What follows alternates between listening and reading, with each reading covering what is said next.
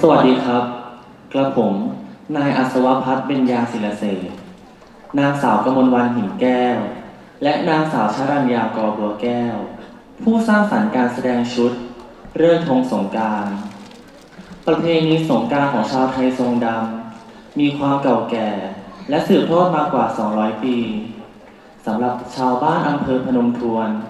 จังหวัดกาญจนบุรี ชาวบ้านเชื่อว่า การทำพิธียกธงในประเพณีสงการจะทำให้เกิดความอุดมสมบูรณ์ทางการเกษตร ชาวบ้านจึงช่วยกันประดิษฐ์ธงและของตกแต่งเพื่อประดับธง หลังจากนั้น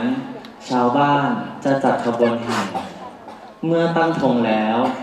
ชาวบ้านจะจัดงานลื่นเริงเฉลิมฉลอง ผู้สร้างสรรค์ได้รับแรงบันดาลใจมาจากแนวคิดดังกล่าว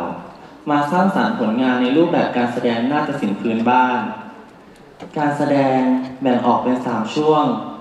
ช่วงที่ 1 การประดิษฐ์ธงและของตกแต่งธง ช่วงที่ 2 ขบวนแห่ธง ช่วงที่ 3 การละเล่นของชาวบ้าน ขอเชิญรับชมการแสดงชุดเรื่องธงสงการครับ